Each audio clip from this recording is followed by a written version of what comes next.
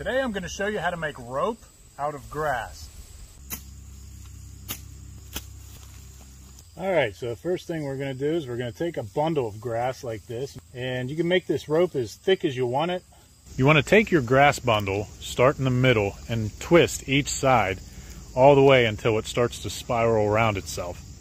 And then keep twisting each side as tightly as you can, and it'll continue the process.